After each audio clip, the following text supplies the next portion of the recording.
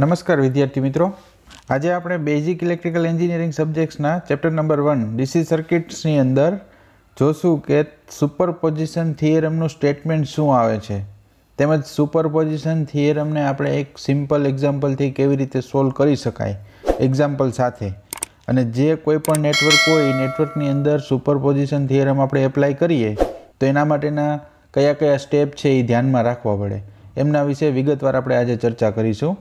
તો ચાલો, વિદ્યાર્થી મિત્રો, હવે આપણે સુપરપોઝિશનના સ્ટેટમેન્ટ વિશે વાત કરીએ. હવે ઘણી વખત નેટવર્કમાં એક કરતાં વધારે સોર્સ હોય છે. આ વખતે સુપરપોઝિશન થિયરમનો ઉપયોગ કરીને એલિમેન્ટનો કરંટ કે તેનો વોલ્ટેજ ડ્રોપ છે એ ફાઇન્ડ કરી શકાતો હોય છે. આ માટે કોઈ પણ વખતે એક જ સોર્સ ગણતરીમાં લેવાનો અને એના લીધે એલિમેન્ટનો પ્રવાહ, એટલે કે કરંટ કે વોલ્ટેજ ડ્રોપ શોધવાનો. એ વખતે બાકીના સોર્સની જગ્યાએ એનો ઇન્ટરનલ રેઝિસ્ટન્સ મૂકવાનો. એટલે કે જો એનો ઇન્ટરનલ રેઝિસ્ટન્સ ન હોય, તો તમારે ઝીરો કન્સિડર કરી અને આખી સર્કિટને શોર્ટ કરી દેવાની. એવી જ રીતે આમ વારાફરતી દરેક સોર્સને લઈ, દરેક વખતેના કરંટ કે વોલ્ટેજ ડ્રોપનો અલ્જેબ્રિક સરવાળો કરી અને એલિમેન્ટનો કરંટ કે વોલ્ટેજ ડ્રોપ છે એ તમે ફાઇન્ડ કરી શકો છો. તો હવે સુપરપોઝિશન થિયરમની તમારે કંઈક ડેફિનેશન આપવી હોય તો ડેફિનેશન કઈ રીતે આપી શકો?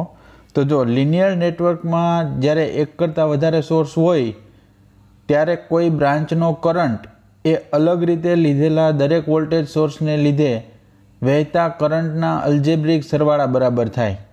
એટલે કે દરેક વખતે બાકીના સોર્સ, જે બાકીના જે વોલ્ટેજ સોર્સ હોય, તો એની જગ્યાએ એનો ઇન્ટરનલ રેઝિસ્ટન્સ છે એ તમારે મૂકવાનો હોય. હવે આ તમને એમ થાય કે આપણે એપ્લાય કેમાં કરી શકીએ? તો લિનિયર સર્કિટ હોય, એમની અંદર જ તમે એપ્લાય કરી શકો છો. આ સુપરપોઝિશન થિયરમ છે. હવે લિનિયર સર્કિટ કોણ છે? તો કે ઓહોમ્સ લો છે. એની અંદર લિનિયર સર્કિટ આવે છે. આપને ઇઝીલી એકદમ ખ્યાલ છે. તો હવે આપણે એમ થાય કેવી રીતે સોલ્વ કરી શકીએ આપણે? જો એક્સપ્લેન કરવું છે કે કેવી રીતે સુપરપોઝિશન થિયરમને તમે, તો એમાં શું કરવાનું છે? એક તમારે ડાયાગ્રામ કન્સિડર કરવાનો છે, જે તમને બતાવેલો છે. એમની અંદર બે બેટરી વોલ્ટેજ વી વન અને વી ટુ આપેલા છે. એક્ઝામ્પલ થ્રુ સમજીએ છીએ આપણે. તો શું છે કે બે વોલ્ટેજ આપેલા છે. પછી શું કરવાનું કે તમારે એક વોલ્ટેજ સોર્સને શોર્ટ કરવાનો છે. તો હવે અહીંયા જે આપણે છે, એ બીજા નંબરનું વી ટુને આપણે શોર્ટ કરી દીધો છે જો અહીંયા. અને વી વનને ખાલી એકને જ કન્સિડર કર્યો છે. પછી જેમ જેમ તમે ફાઇન્ડ કરતા જાઓ, એ પ્રમાણે તમારે અલગ અલગ જે કરંટ છે, ત્રણ current I one dash I two dash અને આઈ થ્રી ડેશ તો એ કરંટ છે એ તમારે ફાઇન્ડ કરંટ ફાઇન્ડ કરવાના છે અને એનું કેલ્ક્યુલેટર તમને મળે શું? તો કે I one dash is equal to V one divided by તમારા રજિસ્ટર ટુ અને રજિસ્ટર થ્રી છે એ બંને રજિસ્ટર પેરેલલમાં કનેક્ટ છે. અને આર વન છે, એની સાથે સિરીઝમાં છે. તો ઇક્વેશન કેવું મળે છે તમને? I one dash is equal to V one divided by R two into R three divided by R two plus R three plus R one આ ઇક્વેશન નંબર વન મળ્યું. એવી જ રીતે તમને સેકન્ડ ઇક્વેશન મળે. I two dash is equal to I one dash R three divided by R two plus R three equation number two આ તમને current છે આઈ વન અને આઈ ટુ બે મળ્યા. હવે તમે આ બેનો ડિફરન્સિએશન લ્યો તો તમને કરંટ છે એ થ્રી મળે. અને ઇક્વેશન નંબર થ્રી તમારે આપવું હોય તો તમે આપી શકો. હવે એવી જ રીતે તમે જ્યારે હવે એક વી ટુ વોલ્ટેજ સોર્સ છે, એને એક એક્શનની અંદર લઈ આવો.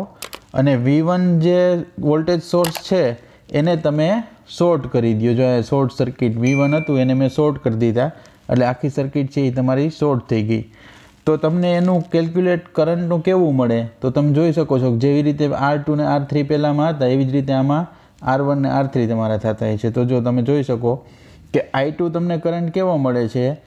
V two divided by R one R three આ બે છે એ તમારા પેરેલલમાં થશે અને આર ટુ છે એ તમારો સિરીઝમાં કનેક્ટ થાય. એટલે V two divided by R one R three divided by R one plus R three plus R two and I one dash two double dash R three divided by R one plus R three આટલો તમને current છે એ મળે ને એના ઉપરથી તમે I three છે એ પણ ફાઇન્ડ કરી શકો. I three dash is equal to I two double dash minus I one double dash આટલો કરંટ છે એ તમને મળતો હોય છે.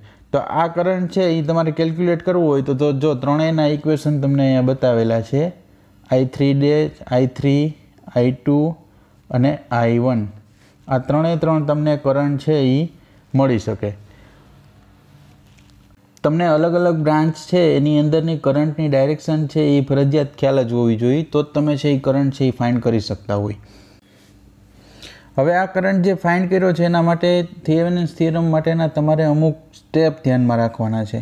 તો સ્ટેપ ધ્યાનમાં રાખવા માટે તમારે વન ટુ એન્ડ થ્રી તમારે ત્રણ સર્કિટ છે એ કન્સિડર કરવી પડે. સર્કિટ ડાયાગ્રામ તમને એ આપેલો છે, એના ઉપરથી ટુ અને થ્રી તો પહેલી વહેલી વસ્તુ આપણે શું કર્યું હતું કે સ્ટેપ નંબર વનની અંદર તમે જુઓ સર્કિટ અહીંયા કમ્પેરિઝન જુઓ તો બી તમને ખ્યાલ આવી શકશે કે એમાં સ્ટેપ કઈ રીતે મારે એપ્લાય કરવા. તો ફર્સ્ટ સ્ટેપ હું તમને સપોઝ કહેતો હોય તો પહેલાં સ્ટેપની અંદર શું કર્યું છે કે ઇન્ડિપેન્ડન્ટ સોર્સ તમારા આપેલા છે વોલ્ટેજ સોર્સ હોય કે કરંટ સોર્સ હોય.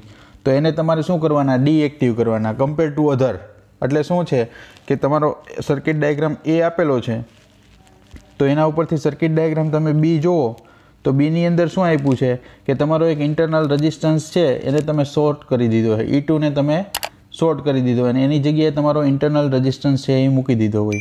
એવી જ રીતે પછી શું કરવાનું કે શોર્ટ થઈ ગયું હોય કે કરંટ કે જો કરંટ હોય તો તમારે ઓપન સર્કિટ કન્સિડર કરવાની અને વોલ્ટેજ સોર્સ હોય તો તમારે શોર્ટ સર્કિટ કન્સિડર કરવાની થઈ. પછી સ્ટેપ નંબર ફોરની અંદર શું છે? સ્ટેપ નંબર ટુ થઈ ગયું થ્રી એન્ડ ફોરની અંદર શું છે કે આઈ વન આઈ ટુ અને આઈ થ્રીના તમારે કરંટ છે એ ફાઇન્ડ કરવાના. હવે તમને જેવી રીતે કરંટ મળ્યા છે એક્ઝામ્પલની અંદર એવી જ રીતે તમારી સર્કિટ નંબર સી આપેલી છે. જો સર્કિટ ડાયાગ્રામ સી એમાં તમે જોયું કે એમાં શું કરો છો તમે? ઈ વનને ડીએક્ટિવેટ કરો છો અને ઈ ટુને એક્ટિવેટ કરો છો. તો એ ટાઈમે તમારે ઈ વનનો ઇન્ટરનલ રજિસ્ટન્સ કાંઈક મૂકવો પડે. હવે ઈ વનનો તમે જે ઇન્ટરનલ રજિસ્ટન્સ મૂકતા હોય, પછી નેક્સ્ટ સ્ટેપ તમારું એવું આવે છે કે આઈ વન આઈ ટુ અને આઈ થ્રી કરંટની તમારે વેલ્યુ ફાઇન્ડ કરવી પડે. તમે જે તમને ટોટલ વેલ્યુ મળે છે, પછી તમારે બધાનું એડિશન કરવાનું. ઇન્ડિવિજ્યુઅલ તમને કરંટ મળ્યા હોય, તો એ કરંટ તમારો નેટ બ્રાન્ચનો કરંટ ફાઇન્ડ કરી અને સુપરપોઝિશન થિયરમ છે એ એપ્લાય કરવો પડે દરેક બ્રાન્ચ માટે. અને સ્ટેપ નંબર એઇટ તો સ્ટેપ નંબર એઇટની અંદર શું છે કે તમને જે કરંટ મળ્યો છે એ કરંટની ડાયરેક્શન કેવી છે? ઓપોઝિટ ડાયરેક્શન છે કે સબટ્રેક્ટવાળી ડાયરેક્શન છે? એ પ્રમાણે તમારો નેટ કરંટ છે એ દરેક બ્રાન્ચ માટે મળતો હોય.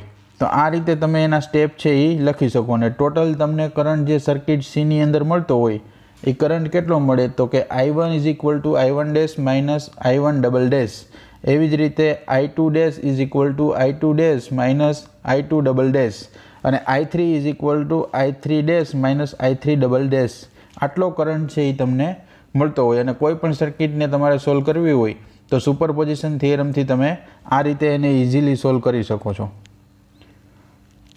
Thank you very much for watching my video.